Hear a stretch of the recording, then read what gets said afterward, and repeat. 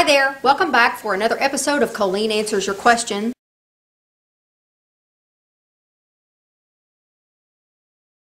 But he was going to a location where he wasn't allowed to carry his firearm and wondered if I had any tips on ways that he could practice dry fire without his actual weapon.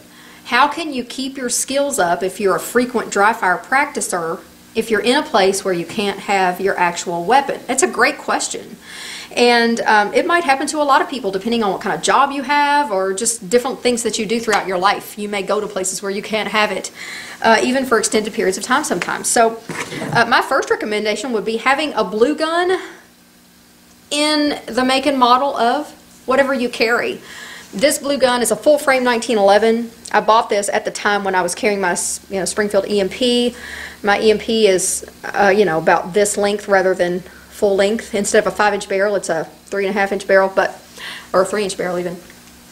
But I can do all of the same practicing. I can do all the same, you know, practicing driving it forward and getting my sight picture. I can even put it in a holster and draw. I won't be able to press the trigger because it's just a chunk of plastic. It doesn't have a moving trigger but uh, I can still go through all the motions of drawing with this and keep keep the muscles going okay? Keep the muscle memory going. Some people say there's no such thing as muscle memory.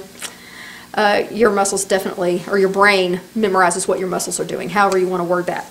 Uh, another thing that you can do I don't know if you'd be allowed but you could try uh, doing airsoft Maybe if you, you couldn't get a gun, you couldn't take an airsoft either. Probably not. Um, but that that's something to consider. But I would say this would be a great option. There is something called a trigger trainer. I actually own one. It's not with me right now. I have found I have three different triggers for it, and none of them feel like the triggers on my guns per se, but there is a heavy, medium, and light trigger and it gives you the grip frame, the trigger guard, and the trigger to work with. There are no sights on the top. Uh, it's just the grip portion and the trigger and the trigger guard portion. So if you wanted to practice smooth trigger pull and trigger release, you could do that with a trigger trainer. Uh, and it does not look like a gun. All it looks like is the stock portion plus the trigger. So that might be an option for you.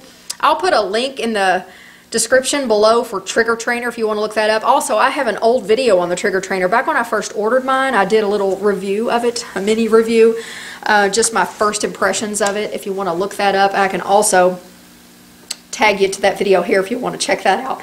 That'll help you out a little bit. So I hope I answered that question. And if anyone else has things that they've done in this kind of situation, please comment below and let us know, okay?